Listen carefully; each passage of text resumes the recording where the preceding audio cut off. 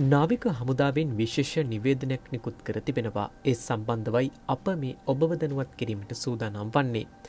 නාවික හමුදාව වෙනුවෙන් ආධාර රැස් කිරීම සඳහා කිසිදු අනුමැතියක් දෙවන පාර්ශවයක් වෙත ලබාදී නොමැති බව නාවික හමුදාව අවධාරණය කරනවා. නිවේදනයක් නිකුත් කරමින් ඔවුන් මේ බව සඳහන් කර තිබෙනවා. සමාජ්‍ය මාධ්‍ය ඔස්සේ නාවික හමුදාව සඳහා ආධාර ලබාදෙන ලෙස අසත්‍ය ප්‍රචාර සිදු කරමින් පවතින බව නිරීක්ෂණය වන බව නාවික හමුදාව පවසනවා.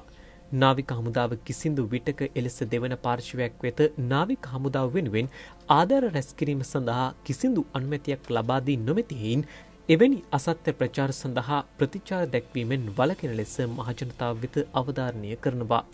කොරුණා වසංගතය රට තුළ ව්‍යාප්තිය වැලැක්වීම සඳහා ශ්‍රී ලංකා නාවික හමුදාව විසින් විවිධ ව්‍යාපෘති රැසක් සිදුකරමින් සිටින අතර ඒ සඳහා අවශ්‍ය සෞඛ්‍යාරක්ෂිත උපකරණ සහ ඇඳුම් මෙන්ම ද්‍රව්‍යමය ආධාර විවිධ පාර්ශවයන් වෙතින් නාවික හමුදාව වෙත ලබා දෙනු ලබන බවද එම නිවේදනයේ වැඩදුරටත් දැක්වෙනවා. මේ වීඩියෝ තුළින් ඔබ යම් කිසි දෙයක් දැනගත්තා නම් වීඩියෝටත් ලයිකයක් දාලා මේ පිළිබඳව ඔබගේ අදහසත් පහතින් කමෙන්ට් එකක් දාන්න අමතක කරන්නට එපා.